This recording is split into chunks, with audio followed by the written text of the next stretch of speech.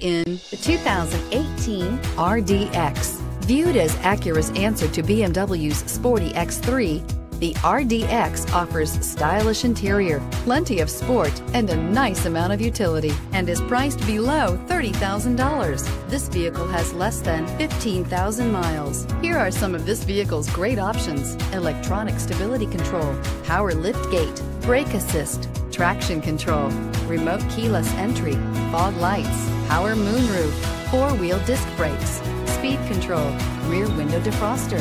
This beauty will make even your house keys jealous. Drive it today.